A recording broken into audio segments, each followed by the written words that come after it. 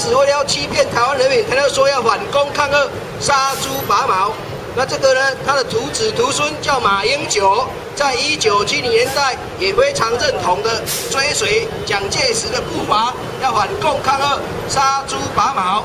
可是现在讲马英九已经不反共抗俄，杀猪拔毛，不反攻大陆了，他已经向共匪投降。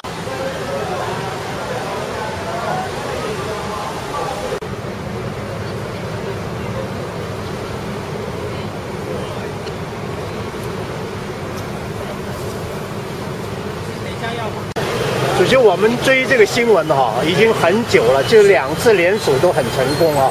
但这次为什么？是不是大家觉得已经成了既成的事实，还差一万多份？啊，当然，就是因为马政府一再封杀嘛，啊，所以有些人就觉得这签了有没用？所以有没有用？就立即效用，就是说就可以接受我们了。继续进行下一个阶段的联署，然后提出由老百姓来公投嘛。但是，呃，还是还是不是完全冷淡的，啊，还蛮蛮有一些人还是非常热心的。所以，呃，十万多分还差差一万多一点，应该很快就会做成了，哎。但是你觉得不觉得民进党主席蔡英文主席说要延续前朝的政策，会不会对整个签名的意愿会有很大的影响？我我想蔡主席他的意思，当然，啊，这个是啊，他怎么讲，我不不不是太完全掌握到。不过我所了解啊，他们现在忙选举嘛，那么这个对选举的那么一种这个。处理我不晓得，但是基本上因为啊，台联跟民进党是合作，这个在推动这个 F 法，他们反 F 法的立场是没有改、没有变的。那么 F 法爱公投嘛，那么这个是现在因为有台联在负责推动嘛，他也在配合，他们也在配合，他们也联署了不少的一个份数给我们了，哎，所以我想这个是很自然嘛。因为一般人觉得，哎呦，我连连署什么都没用，被他们杀掉。那这一次再连署也没有用？他们会这样。但是我们觉得呢，这坚持才会成功。对的，一定要坚持。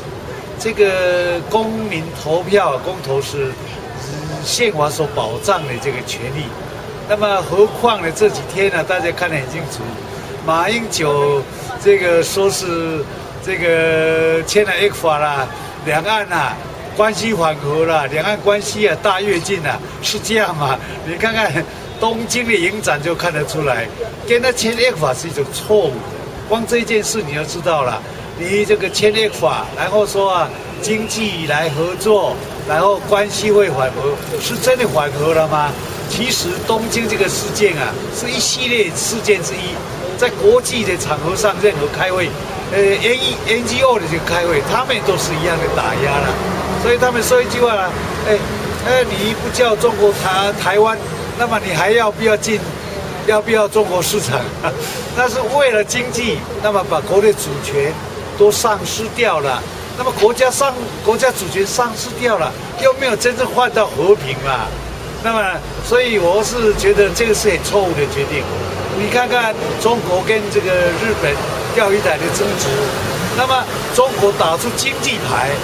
那么要来，这个是来，呃，对你日本的经济采取行动。日本他这个他就几乎是就是这样屈从了吗？那我们跟中国，呃，这个经济的关系依赖中国那么重，那么到时候他从经济的整合要走到政治的统一，从从政治勒索恐吓，你台湾将来有没有配套有没有应应措施啊？所以这个。看得很清楚的，所以我们要觉得我们继续推动这个 F 法要公投啊，是这个是正确的，要继续要推动，那么一次再一次，啊，你一次封杀了十十多万人，那能够封杀几十万人啊？我再做给你看看，一次十万多、十一万份的人，一张一张贴出来的，你不三不四的公审会，十一二个人就把这个否决掉了，那这天下岂有此理？民主社会啦，这是民主社会啦，人民做主的 啊，人民说要公投啊，无人公仆啊，说你不要公投，这这什么叫民主社会啊？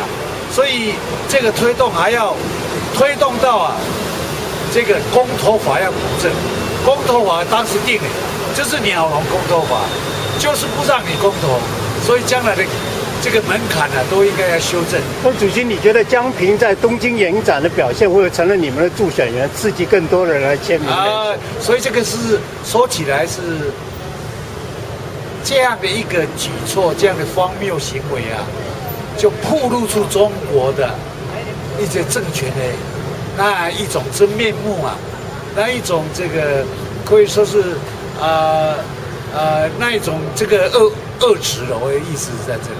他是把这个中国要并吞台湾一贯的这种做法，更强硬的把它表现出来。那这个是呃自然流露出，在露出他的狐狸尾巴，就这样子嘛。其实中国要并吞中台湾呢，从来没有说是呃不是，他他是阳谋不是阴谋啊。但是是我们这边一厢情愿，好像看的是哦两岸关系缓和了。其实江平这种是非常蛮横。